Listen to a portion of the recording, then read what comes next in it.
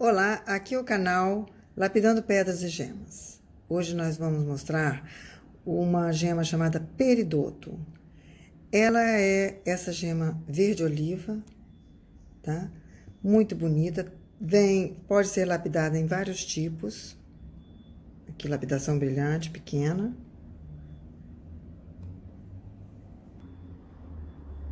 Também nessa, nesse tipo de lapidação muito bonita essa lapidação triangular.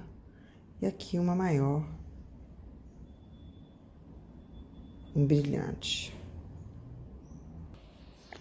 Ela geralmente vem assim, verde, oliva mesmo, clara, bonita. E segundo Gemas do Mundo, a gente pode encontrá-las um pouco mais amarronzadas. Eu nunca vi, tá? Em cabochão, aquelas brutas.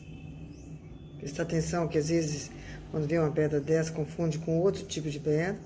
Mas não, ela bruta, ela vem assim bem clara, ó. E é uma, uma gema fácil de lapidar, não é difícil de lapidar, não. E dá um efeito muito bonito. O nome dela é Peridoto.